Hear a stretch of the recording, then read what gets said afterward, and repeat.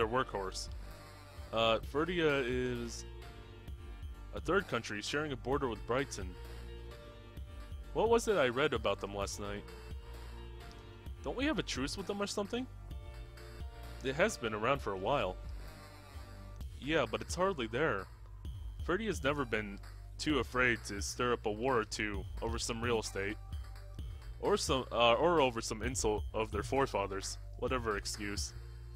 Our truce with them is just a piece of paper. If they wanted to, they'd take us down in a heartbeat. Or they would have, at least, until we got an army to secure the border. I never know, though. Never know, though. Wow, this guy talks a lot. It's wonderful. I hardly had to say a word.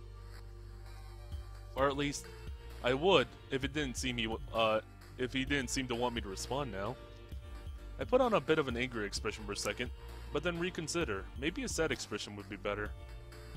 What's my character anyway? Am I being myself here? Wait, wait, no, none of that matters. Just answer. That's terrible.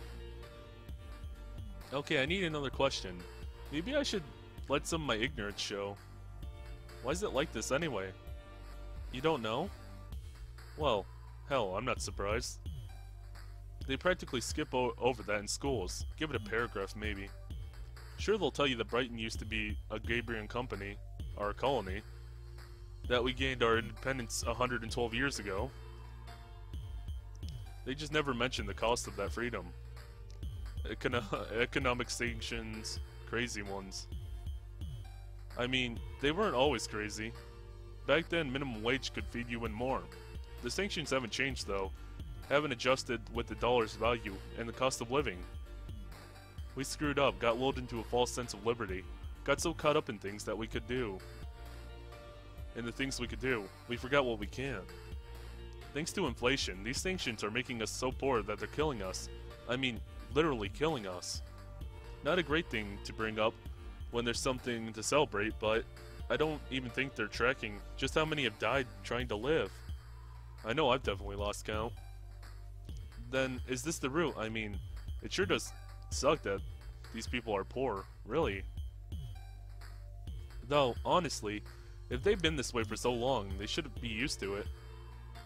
What is poor exactly? The televisions were harping on harping on it earlier, and David was harping on it just now, so I figure it must be important, but, you know, it's nonsense to even consider this seriously.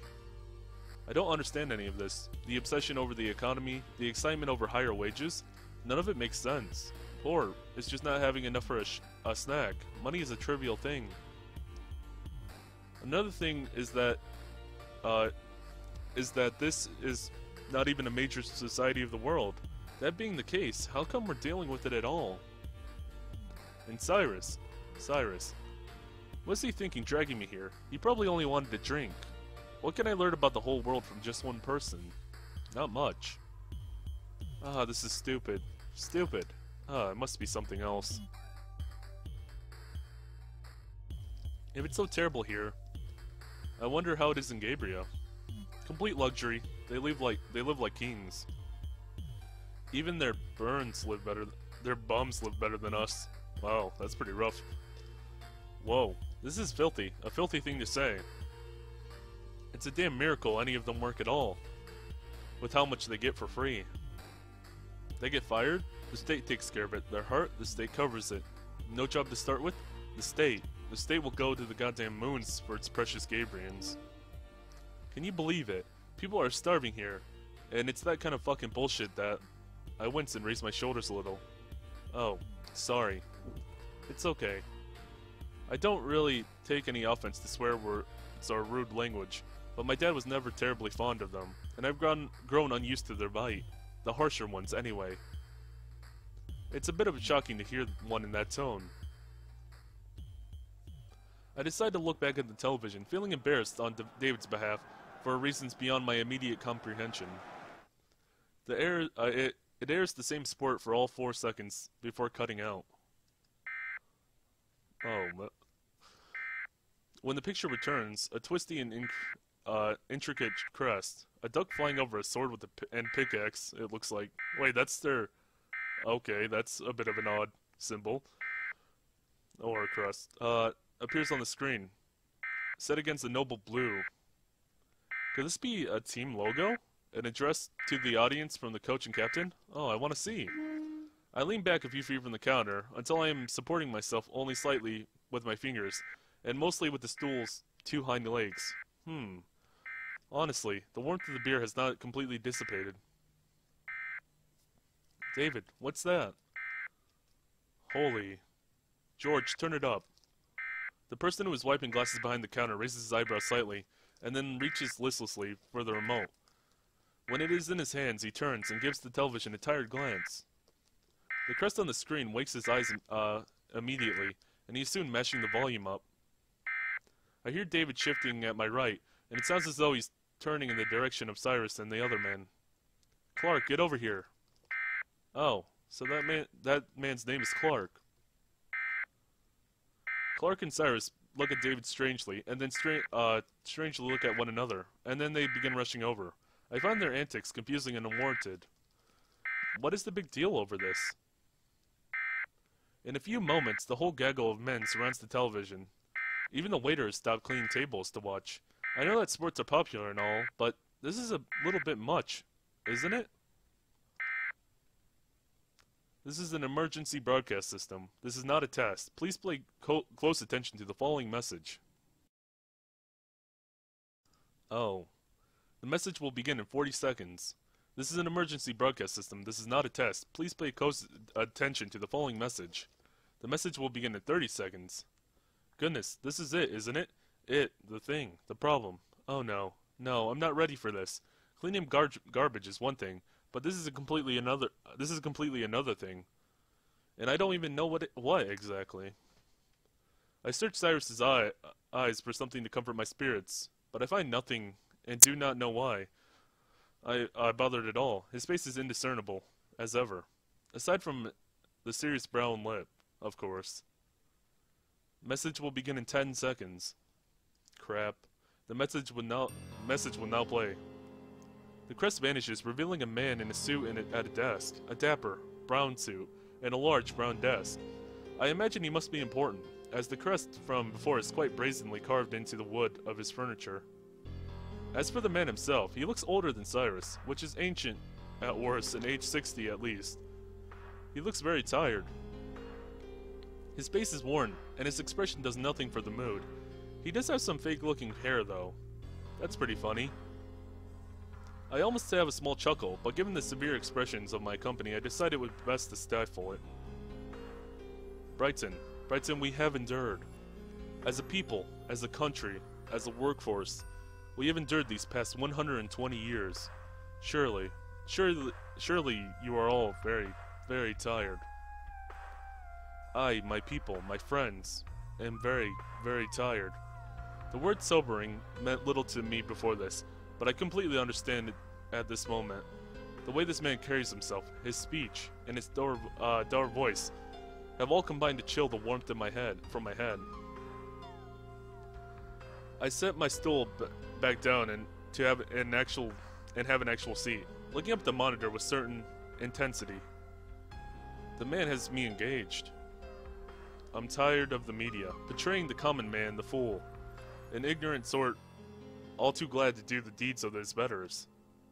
Tired of the foreign of these foreign companies providing us work wages that we will celebrate for only pennies more. Tired of hearing my people say in passing in normalcy, no, I do not know if we will eat today, perhaps tomorrow. Brighton, I am tired of our masters. I'm so tired, so, so tired. People of Brighton, we have grown so used to freedom that we've forgotten that we are not free. This chair and this desk, this stage in the, uh, of an office on which I play, my part, is evidence that of that. I offer a serious and composed look back, uh, look to Cyrus. If I'm understanding correctly, and I can't say I'm one for understanding much of anything on this world, it seems that this leader here is not much of a leader as he might like. Which frankly, I, do, I don't quite get. The way leadership works back home, at least on the larger scale, is that several especially intelligent and reasonable people rule over all of us. The idea of power being not enough, or being vain, is seems complicated to me. Like, what's the point? Why the show? I'd like to ask Cyrus about it, but he isn't returning my gaze, and instead remains focused on the television. I suppose I'll just have to keep listening. But I'm not here to tell you the troubles of our state. I'm not, here to tell you the glory of our fathers. I'm here to confirm the quiet whispers through the alleys and the worried murmurs of the Gabrian elite. Pardon? Consider this a threat. People of Gabria, you have four hours to comply with my demands, or a nuclear weapon will be launched at your country. Oh, shit. That can't be good. Winter, come over here a minute. I rise and step over to my mentor, feeling surprisingly clear-headed and befuddled all at once. He takes me from the counter, leaving three the three gentlemen to discuss whatever it is exactly that that man on the television had just brought up.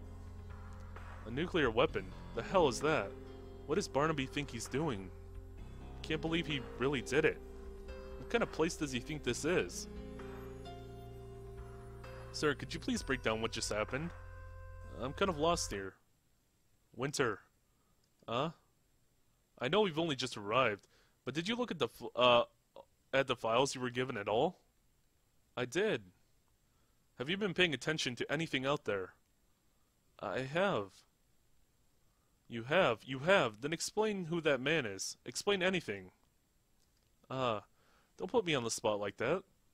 The leader of Brighton, sir, President Barnaby. He, he's angry about Gabria. Uh, I'm not an idiot. Gracious. Why can't I articulate or explain it any better? I, I just wanted to clarify some things because I'm shadowing you. Sorry, I reacted out of impulse. I forget how unprepared life in our world can leave us for these things. I, uh, his tone shook me up quite a bit. I'm shivering a little. I was going to lie and say I understand, but I'm having a lot of trouble speaking right now. I want to go home. Winter, you may not, you may have not realized the severity of the situation. This is, this isn't going to be community service like your first assignment. I know that. Hey, eyes straight, Harrison. Allow me to be frank. Brace yourself, because there may be a lot of dying happening soon. Dying, but... but... I'm shocked, honestly. I figured those rumors I heard from Clark were only that. Hold, hold it, hold it. Death? I just thought... As far as we know, this world hadn't even developed nuclear weapons yet. Uh, what did I think? He said weapon. Am I daft? Though with their strides of utilizing nuclear fusion for electricity, I suppose it was only a matter of time. People are going to die? I don't... It's people dying. Just slow down for a second. I suppose that's what comes with their job. Not everyone can be in the doziers, right? We smooth out the creases and bring chaos to order. Slow down, calm down, calm down, calm down. Though suddenly war, uh, sudden wars really are rare. War? My mind starts to tumble, and my heart tries to explode from my chest. I definitely can't handle this. Uh, war isn't something I'm supposed to take care of. Shut up. Don't excite the locals. I cover my mouth and raise my shoulders. Of course they're looking for war. You can't be uh, believe people dying is a commonality. Do you even think properly? I'm finding it incredibly hard to do anything properly right now. Shaking, I turn to uh, I turn to see the people at the counter. They thankfully are engrossed in the president's speech. I look back at Cyrus and speak softly through my fingers. Shouldn't we shouldn't I go home? Yeah. Oh. This was supposed to be something like diploma diplomacy. Goes to show you how important it is to get a look at the situation yourself. Anyway, if what I heard was right, we don't have time to get you out of here without causing a scene. As you should know, interplanar shifts take longer to prepare than just moving from place to place. But I'll protect you no matter what happens, Winter. And you know how to escape if you really must. Yes. I don't know what I, I don't I don't know if I want to do that anymore though. If he's just talking about maybe dying. Of course, we don't have a lot of time in general. His demands, I couldn't care less about them. Uh, I couldn't care less about, but this deadline. Four hours. Consider this a powerful lesson and come with me. We proceed to exit the bar without saying goodbye. It seems it is time to get to work. It's too bad that I'm terrified. We take to the streets at a quick pace, Cyrus leading to wherever. I find it difficult to keep up with him, though. In more ways than one, my head is swimming from the mention of war. Uh, what level is the war, do you think? What level? You mean, what level do you think it'll be? It hasn't happened. With any luck, it won't. Luck? Uh... I'm thinking this could be something like a 4 on the scale. 4? 4? Uh, oh gracious. 4 is 1 away from 5, and 2 away from 6, which is terrible. 6 is very, very terrible. The worst. Even 4, though. A war without rules. Uh, that must be particularly gross. It is a very disturbing prospect. So disturbing that I grab my hair and almost shut my eyes. What exactly is this? What will happen? Test. What do you think? Is it really time for tests? Be appreciative that I'm, e uh, I'm even doing this work, Winter. He seems much more angry than before. How irksome. What do I think? What what what it could be? Uh, well, uh, first of all, Gabria will respond to Brighton's threat. Possibly. Possibly. Why wouldn't they? I'll answer that for you, because it might work in their favor to ignore it. I, uh, I don't get it? Just think, Winter. Uh, okay, just think. Wonderful advice, you. Uh... Well, maybe they just don't care about Bri at all about Brighton, and they'll use this tantrum as an excuse to destroy them. That's nonsensical, I know. Keep pointing out how I'm like a fish attempting to walk. That's right, Winter. You're right about why they wouldn't respond. What? How absurd. Isn't Gabria a leech on Brighton's back? They need Brighton, so why would they want to destroy it? Well, they wouldn't actually destroy Brighton. What they would do is invade and take away what little freedom and independence this country still clings to. Then they would be able to take advantage of the citizens in, uh, in ways unprecedented. What a disgusting thought, I can hardly imagine it. Alright, now here's another question. Why do you think Brighton uh, why does Brighton think it can take on Gabria? Damn it, Cyrus.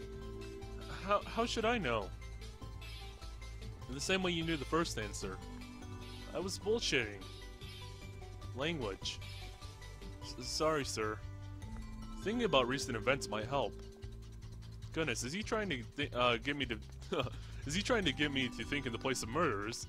Those are the boots I would not like to fill. I guess I have to know. He mentioned uh, he mentioned recent events. I can't think that the minimum wage increase would embolden this country enough to believe they could stand against the obviously obviously superior nation. Especially with how un unimpressed the president seemed about it. Even David wasn't terribly excited. Oh, David. What was it that David mentioned? Their new army. The person I spoke with, his name was David. He said that Brighton had gotten a military recently to defend against the border country, Ferdia. He said it was because Ferdia is dangerous and ignores treaties, but isn't that far more likely that this army was actually created to engage with Gabria? With an actual mi military, and what seems like a new kind of weapon, at least judging from how the locals reacted, then that would uh, explain their confidence. I think. See, Winter, you are cut out for this. Huh. Wait, don't reference things I mumbled to myself before we came here, creep. Then you don't understand the situation. Then you understand the situation. Yes, but I'm curious. Isn't this more like a level 5 war? As Brighton and Gabria are technically separate, I can't call what might happen a civil war. Then this is a technicality. Just a technicality. I'd figured Brighton and Gabria were still very close. Well, look at you, you're all calm. I frowned with in indig indignation. Uh, stumbling over my words again, as usual. I'm not come uh, at all calm. This is essentially a level 5 war. Well, you look at, you look at. I do not let up my frown, uh, with my frown. Well, that isn't all there is. How this might proceed largely has to do with what level I would give this potential war. Cyrus stops, and I stop in turn. We are now in front of the fountain. It took me the entire time to, uh, till now to realize that the streets were deserted. The doorways are even clear of ragged chil- uh, those ragged children who would ask us for pennies. Could it be that everyone is listening to the address? Before I can drift off in this thought, Cyrus looks down at me. A nuclear weapon is one that can kill a lot of people and destroy a lot of things almost instantly. Uh, excuse me? Honestly, Winter, what did you think it meant? I meant earlier when I said a lot of dying could be expected. I won't go into the details, but it's not something you would have been taught about yet. I've dealt with it before, though. You're lucky. I'm not lucky at all. Not even the slight, uh, the in, in the littlest slightest. What kind of thing is that? Is it magic? this isn't a magical world, Winter. Think the higher-ups that you won't be going to those just yet. They're less fun than they sound. Oh god, magical worlds. I should not be going to worlds with wars either. Huh, point. You can check your codex for information about what we'll be dealing with if you like. I need to contact support and update them anyway. So at least you'll be, uh, so at the least, it will give you something to do while you wait. What is it uh, called exactly? Just nuclear weapons sound, seems rather broad, like spear weapons or fruit drink. I believe that it's a fusion bomb. While Barnaby didn't specify, the rumor the rumor I heard supports it. Also, it makes sense considering the reactors. Reactors? You forgot? We saw them when they, uh, we first arrived. This country utilizes fusion reactors for power. Ah, right. The looming and shadowy giants that stand in distant steps. I remember not wanting to remember them. They were disconcert disconcerting. Like many other things here, they looked like a mess. And unlike many other things here, they vi uh, they vibrated. I thought they were going to violently break apart. Anyway, a fusion bomb should be under weapons, obviously. It's technically not a pure fusion, but most worlds can only do so much.